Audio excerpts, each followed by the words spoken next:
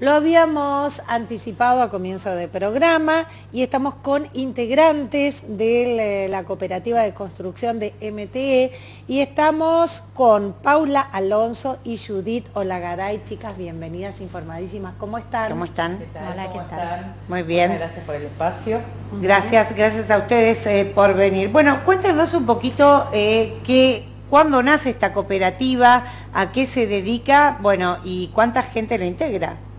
Bueno, la cooperativa nace en el 2018 eh, con la firma de un convenio, que es el convenio de mejoramiento de condiciones de habitabilidad.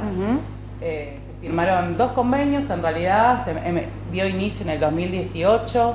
Eh, el convenio está financiado por el Ministerio de Obras Públicas, en el cual se mejoraron en el 2018 12 viviendas hubo un lapso en pandemia, ¿no? Pues, como ha pasado en muchos rubros. Con muchas actividades, claro. Y este año se retomó la segunda parte del convenio y finalizamos, por eso también estamos de celebración, hemos dado eh, fin a las últimas 13 viviendas. En total se mejoraron 25 viviendas en el barrio de Movediza, eh, viviendas vulnerables, que eso trajo aparejado, bueno, eso, mejorar las condiciones habitacionales de 25 familias en el barrio, que no es poco, eh, y mejorar así también eso, las condiciones de salud también de, esa familia, ¿no? Contanos, eh, no sé si Paula o Judith, cuéntenos cómo funciona esto. A ver, el ministerio manda el dinero, cómo se eligen esas, esas viviendas que necesitan. Cuéntenos un poquito cómo es la, la modalidad. El ministerio es quien financia el proyecto, nosotros como cooperativa eh, somos los que gestionamos y, ponemos la mano de obra para, ejecutarlo. Eh, la elección de las familias fue una elección según eh, se llaman condiciones de necesidades básicas. Se hizo un relevamiento en todo, todo el barrio a las familias y quien no tenían las condiciones mínimas habitacionales, esto es no contar con baño, no tener aislación térmica en las viviendas. Acá en la ciudad de Tandil muchísimas de las viviendas son precarias en los barrios populares. Eh, y hace frío. hace frío, claro, están hechas de, eh, en base a planchas, que son planchas cementicias, y eso significa que en el invierno es un frío tremendo y en el verano al revés, ¿no? Muchísimo calor en esas viviendas.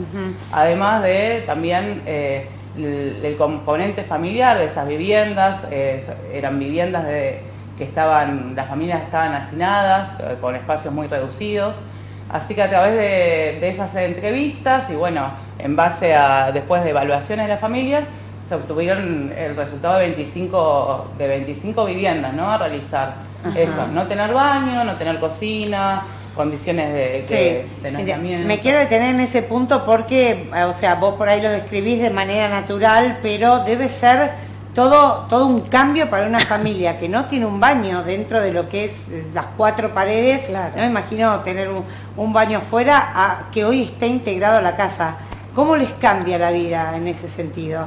Eh, bueno, nada, buenas tardes. Eh, yo soy una de las propietarias a las cuales se le hizo el mejoramiento y la verdad que en mi caso particular eh, fue un cambio muy grande para mí y para mi hija porque bueno, nada, ¿Qué tipo de intervención hicieron en tu casa? Y en mi casa me hicieron dos habitaciones y se me mejoró la parte de la, de la, cocina y del baño, porque bueno, mi baño era muy, muy, muy precario.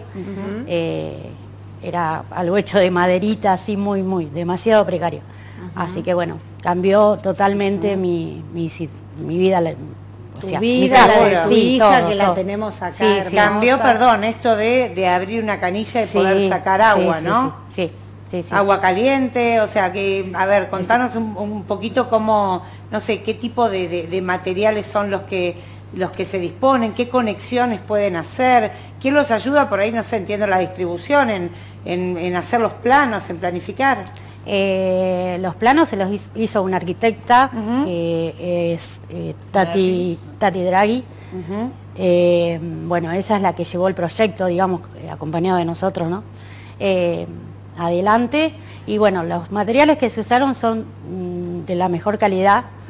porque bueno, hay como termotanques eléctricos, como bueno, ventanas que, nada, que, que cierran. Que cierran bien, puertas, y bueno, todo, de todo, la verdad que eh, muy linda quedaron todas las casas.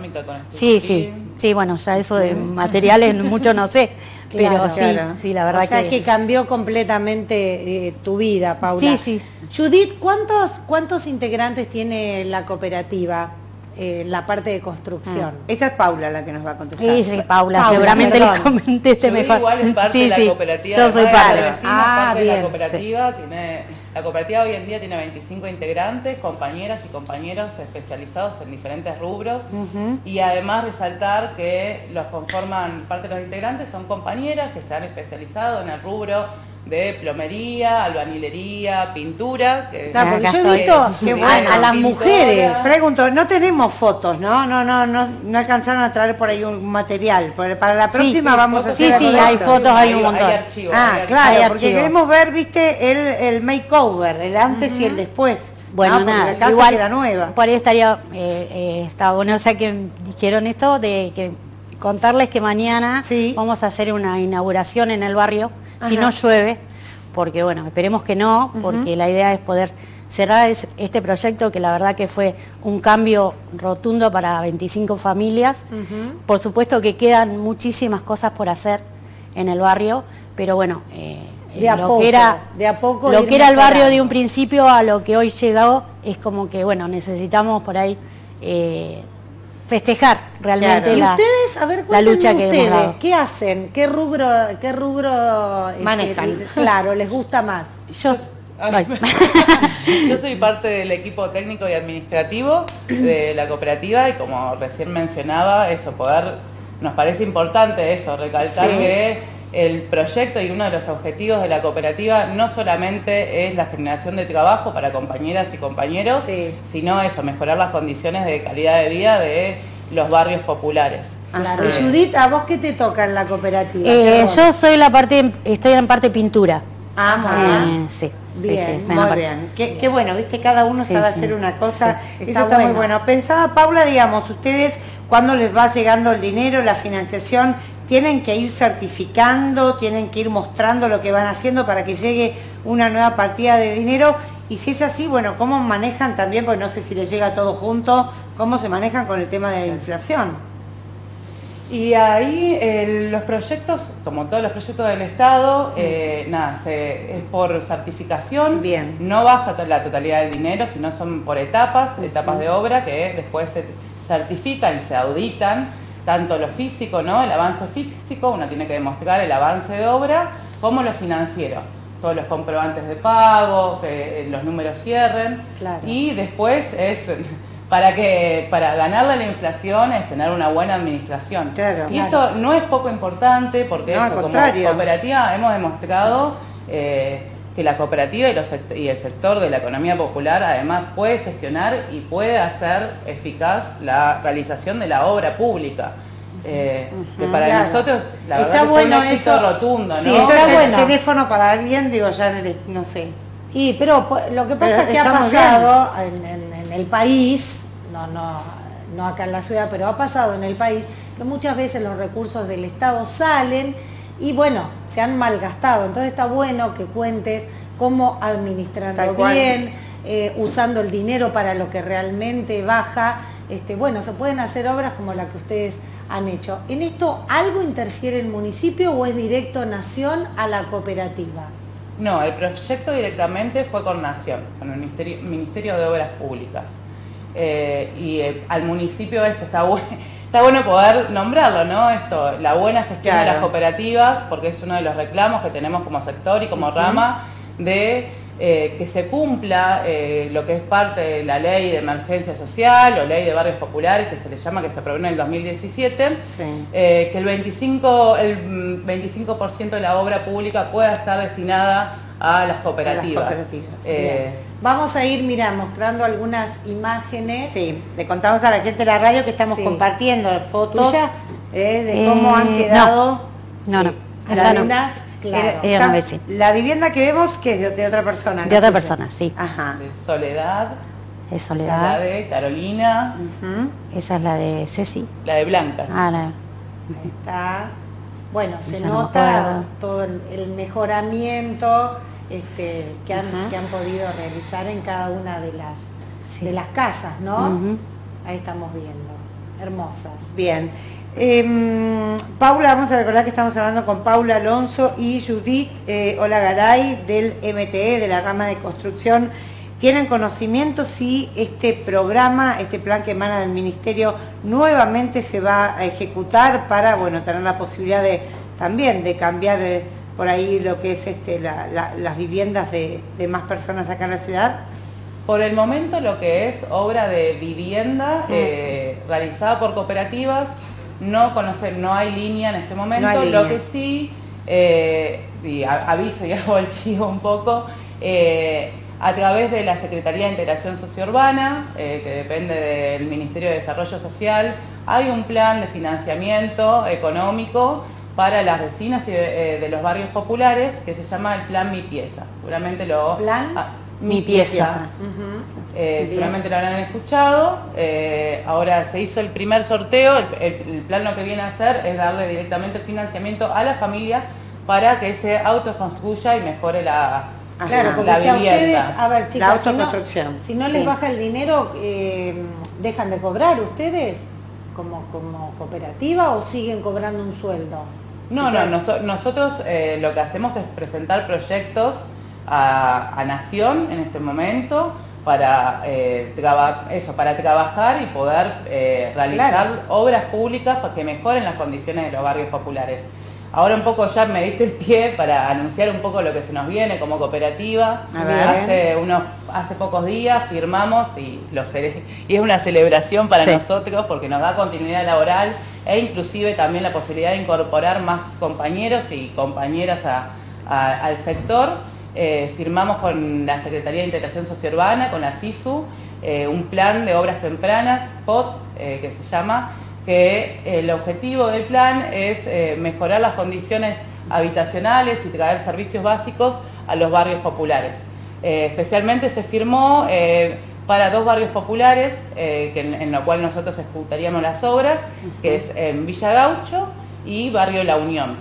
Eh, ¿Qué es lo que se realiza en- con Sí, este proyecto? Ustedes ahí, eh, eh, a ver, esos dos barrios se eligen porque hacen un relevamiento previo. Porque forman parte del RENAVAP. Ah, la sí. CISUR lo que viene a hacer eh, la Secretaría de Integración Sociourbana, se- que se financia con lo, lo que es eh, impuestos a, a las grandes fortunas, eh, a través, aparte de reconocer que esto surge a partir de la ley que nombré hace un rato, la ley de barrios populares, es eh, brindar a los eh, barrios populares el acceso a la integración sociourbana, que es llevar los servicios básicos como agua, cloaca. Ahí sí necesitan digo, la interacción con el municipio. No, no, en este caso solamente es eh, con, eh, con Nación, es un convenio con Nación eh, en el cual nosotros estaríamos Eh, realizando claro, las pero- obras para mejorar esas, vivi- esas, esas viviendas. Claro, pero Claro, digo, pero- ¿saltean el municipio en ese caso? En este caso, no- en este caso, en este convenio no interviene el municipio, lo que sí como cooperativa y como rama mm, le estamos pidiendo al municipio poder articular, por eso hemos acompañado un proyecto de, de ley que se presentó hace muy poco eh, para crear lo que se llama mesas eh, de barrios populares acá en Tandil, donde pueda participar el municipio, eh, Nación a través de estos proyectos que bajan y las organizaciones sociales que ejecutan estos proyectos para poder aunar esfuerzos y que haya una política integral para resolver estas situaciones de vulnera- vulnerabilidad en los barrios, ¿no? Sí. Por el momento el municipio no, eso, no, tiene política Claro, pero está, estaba pensando, Paula, igualmente sí, bueno, eh, eso Es- un, es es- un déficit, es un déficit que tiene sí. el municipio, pero pensaba un funcionario de nación se tiene que Claro. poner de acuerdo o articular con alguien de planeamiento y obras públicas de acá para saber con qué servicios sí cuentan esos barrios. Eh, Claro. o por dónde tendrían que pasar, no sé, de repente las cañerías, las cosas, porque ahí se necesitan los planos, o sea, hay que dar factibilidad a todo eso. O sea, que en algún momento, nación, municipio o provincia, municipio... articulado. En este, que- en este caso, como nosotros no, hace, no intervenimos en lo que es la red, Eh, nosotros lo que hacemos es eh, acceder a que los vecinos y vecinas accedan a ese servicio, se llama eh, instalación intradomiciliaria. Sería, en el caso del agua, por ejemplo, es la conexión formal a la vivienda y un tanque de reserva para que los barrios no se queden es decir, que es algo que pasa acá, acá en Tandil en verano. En determinadas zonas te quedas sin agua, y no tenés en verano y no se queden sin agua. O hacer la conexión de lo que es eh, la red formal a la vivienda de la cloaca para que tenga eso. Eh, saneamiento de la vivienda o mejorar las, conexiones eléctricas. de la vivienda, que también es un problema muy grave acá en la ciudad de Tandil. Cada tanto se incendia alguna casa en algún barrio popular por tener conexiones precarias, es una situación de peligro y de riesgo eso. Eh, sí, como te nombraba anteriormente, nos parece una necesidad y es una demanda que le tenemos al Estado municipal que se cree esta mesa, que podamos articular, aunar esfuerzos para poder, para poder pensar políticas públicas integrales con todos los actores que intervienen, ¿no? Que estamos pensando en que eh, el derecho al hábitat, nada, tiene que estar garantizado. Eh, sí, a mí lo que me llama la atención cuando vienen, a ver, recursos de nación, que son recursos de todos nosotros, que aportamos con nuestros impuestos, me parece raro en esto que, bueno, no hagan intervenir a la provincia o al, o al municipio que es, digamos, el dueño de casa del lugar con un aporte de todos, reitero, me parece eso está bueno que se busque una mesa de trabajo entre todos, pero a veces cuando llegan estas partidas no sé por qué como que se saltea al municipio, que van directamente. Esa, ahí en realidad no es la idea, la idea también que el municipio articule, porque muchas veces nosotros como cooperativa podemos hacer cierto tipo de obras, ¿no? Que son más las domiciliarias. Como vos nombrabas anteriormente, lo que es la extensión de red y de servicios, eso lleva otra cantidad, es nada, tiene otra dimensión de obra, con otra capital que tienes que tener, que son maquinarias, etcétera.